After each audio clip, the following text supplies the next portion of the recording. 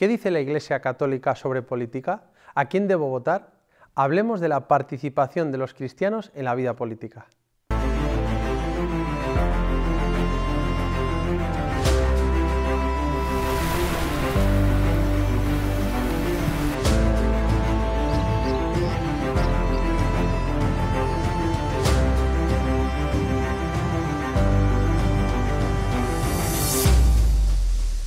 Alguna vez me han preguntado, ¿sabe usted a quién debo votar en las próximas elecciones? Y yo siempre contesto, sí, lo sé, te lo voy a decir. Tienes que votar a quien te dé la gana.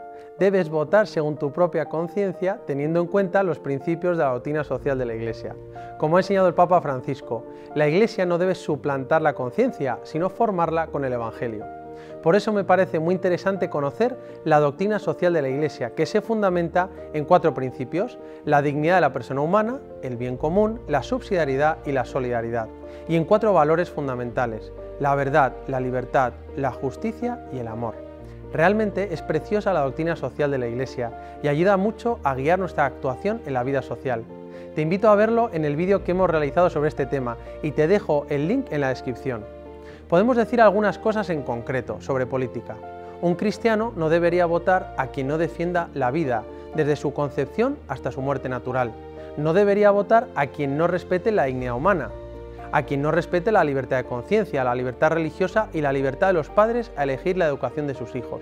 Un cristiano no debería votar a quien intente imponer una ideología en la sociedad, a quien anteponga el beneficio económico sobre las personas, o aquellos que ponen al Estado por encima de las personas, hasta el punto de suprimir la propiedad privada, la libertad de decidir o la libertad de expresión, entre otras cosas.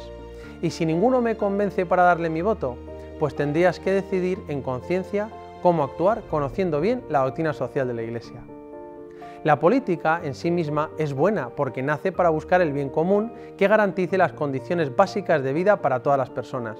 Como vivimos en sociedad es necesaria una autoridad pública que se elija por los ciudadanos, que deben obedecer en conciencia. Es más, tradicionalmente, desde el comienzo de la Iglesia, se ha rezado por las autoridades públicas y lo seguimos haciendo siempre, para que puedan gobernar de tal forma que favorezcan el bien común, se respete la dignidad de todos los hombres y se viva en libertad y paz.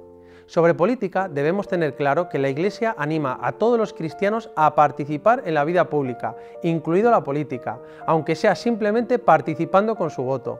El cristiano debe contribuir para construir un mundo conforme al amor, la justicia y la libertad del Evangelio, recordando que el verdadero poder es el servicio.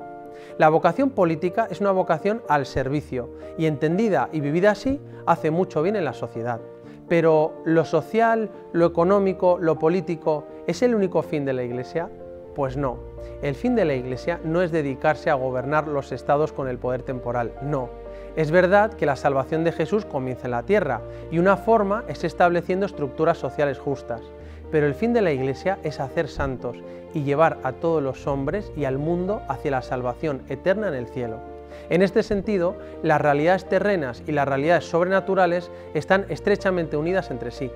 Pero la Iglesia no pone su esperanza en el poder civil e incluso renuncia a ciertos derechos legítimos si pueden entorpecer su misión en el mundo. Hace tiempo leí una noticia en La Estampa, un periódico italiano que me pareció muy interesante con respecto a la Iglesia y la política.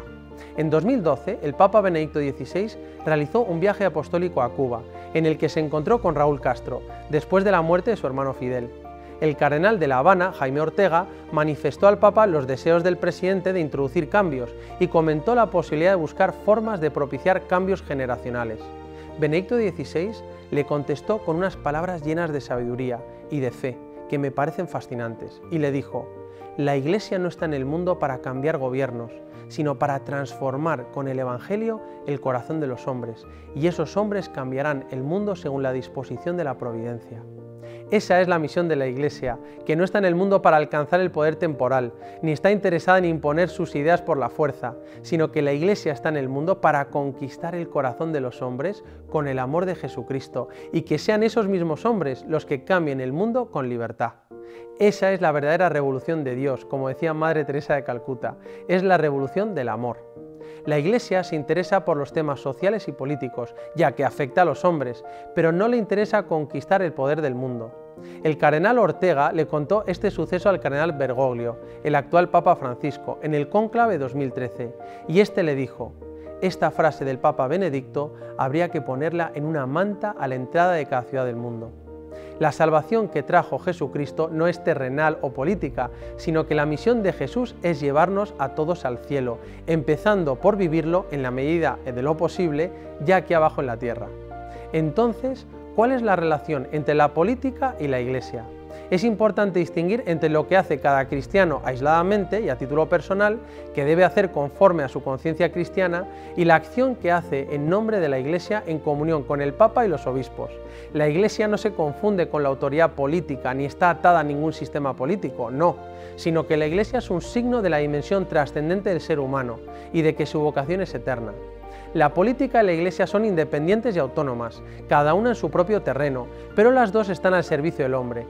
Dejémoslo claro, hay que distinguir entre la actuación de la Iglesia como institución, que no se mete directamente en política, y el cristiano en particular, que ejerce su derecho y su deber de participar en la política, con su responsabilidad y en conciencia.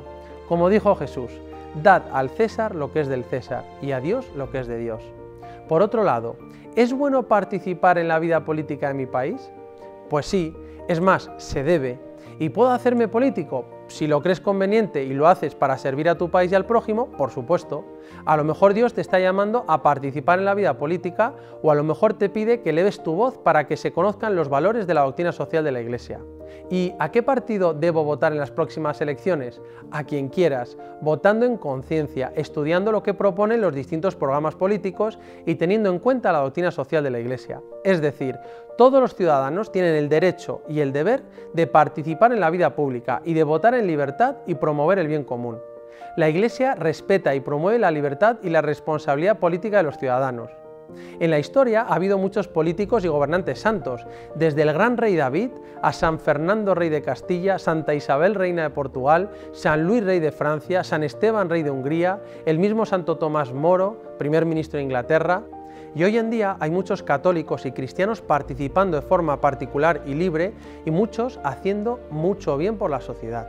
Hace unas pocas décadas, el mismo Papa San Juan Pablo II y, por ejemplo, el venerable Fulton Sheen fueron un altavoz frente al comunismo y a los totalitarismos. Por lo tanto, debemos tener claro que la misión de la Iglesia es hacer santos, llevar a todas las personas al cielo. Su razón de ser es trascendental, aunque se preocupa por todo aquello que afecta a los hombres, incluyendo la vida social y política, y anima a que los católicos participen en la vida política de forma personal y con responsabilidad, intentando aportar su contribución para hacer del mundo un lugar mejor en el que vivir, haciendo presente el reino de Dios en la tierra, que es un reino de amor, de justicia, solidaridad y paz. Muchas veces hemos escuchado que la Iglesia no debería meterse en política, y especialmente suele ocurrir cuando hay elecciones y la Iglesia emite una nota de orientación moral del voto de los católicos. Pero la Iglesia tiene el deber y la misión de emitir un juicio sobre algunos temas de especial gravedad, y por eso siempre defenderá la vida, la libertad, los valores fundamentales, la libertad religiosa, en concreto, en 2006, el episcopado español publicó unas orientaciones morales, que no es un juicio político, sino que son unas orientaciones para ayudar a la participación responsable y consciente de los católicos en la vida pública y la política. Eso no es un juicio moral y no es meterse en política. Hace unos años, por ejemplo, la Conferencia Episcopal Americana publicó unas orientaciones para ayudar a los católicos a votar desde los valores cristianos. Y es que nuestra fe forma nuestra conciencia a la hora de realizar una valoración sobre política. Absolutamente, sin dejar de respetar la libertad de conciencia de cada uno. En este sentido, los obispos y sacerdotes tenemos el deber de dar a conocer los principios fundamentales sobre la doctrina social de la Iglesia y de denunciar los abusos y las injusticias, y así formar las conciencias desde el Evangelio porque la Iglesia tiene una visión determinada sobre la persona humana, la familia, el aborto, la eutanasia, la ecología, el cuidado de los pobres, la juventud, el matrimonio. Estos son los valores que se deben enseñar, recordar y defender, pero luego se debe dejar el juicio particular a cada persona en concreto. Como dice el Papa Francisco, no estoy para suplantar la conciencia, sino para formar la conciencia. La Iglesia, estrictamente hablando, no entra a hacer política. Por eso, por ejemplo, en el derecho canónico está prohibida la participación de los sacerdotes en la vida política. La Iglesia tiene una finalidad y una misión distinta. Muchas veces se dice que hay que ser imparciales en el tema social y político, que no se puede meter nuestras creencias en la vida pública. Las cuestiones religiosas quedan para el interior de la persona o la familia, o para la iglesia el domingo, pero que no se pueden mezclar cuestiones religiosas en la vida pública. Se dice que no se puede. Hay que ser imparciales, es decir, que cuando vayas a participar en la vida pública es como si tuvieras que dejar tus creencias a un lado. Se dice que eso son ideologías que hay que dejar a un lado y nosotros construimos la vida pública en base a un consenso de laicidad. Hoy en día esta aparente imparcialidad se ha introducido como si fuera una especie de dogma. Curiosamente, quien me habla de esa imparcialidad es quien intenta imponerme su visión del mundo y del hombre como si fuera la única válida. Esa imparcialidad de la que se habla no es verdad, y como dice el obispo Munilla, porque toda institución, al menos implícitamente, parte de una visión del hombre y de su destino, o se está abierto a la trascendencia o se está cerrado a la trascendencia. Es imposible ser neutral con respecto a lo que es el hombre y su destino final, y por eso la Iglesia y nuestra fe tiene algo que decir.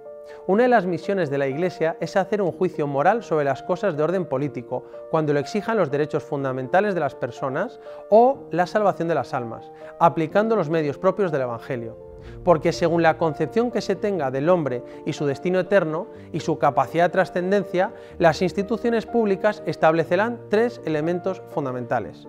Primero, las referencias de juicio. Segundo, la jerarquía de valores. Y tercero, la forma de actuar con nuestra conducta. Por ejemplo, si una persona entiende que los seres humanos estamos abiertos a la trascendencia, tenemos un alma que hay que cuidar, es normal que si gobierna se preocupe de que haya atención espiritual en los hospitales, en los colegios, en las cárceles o en el cuartel militar.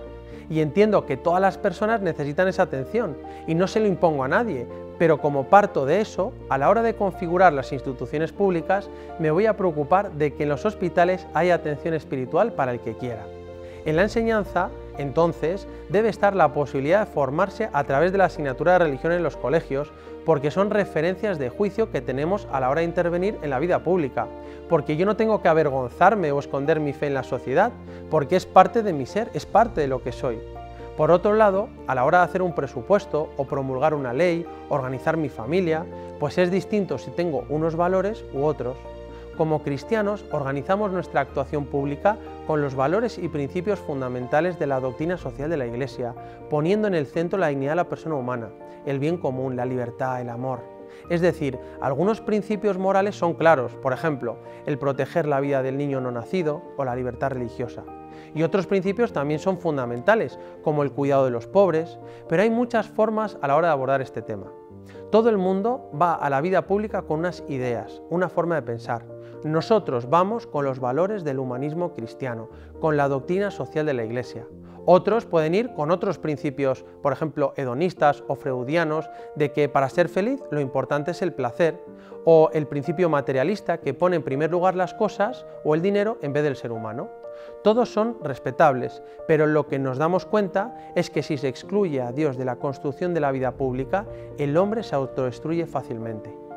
La Iglesia fundada por Jesucristo está llamada a contribuir, a difundir cada vez más el reino de la justicia y del amor en cada país del mundo, predicando la verdad e iluminando la actuación social de los hombres con la doctrina social de la Iglesia y con su testimonio de vida, por supuesto, respetando y promoviendo la libertad y animando a la responsabilidad política de todos.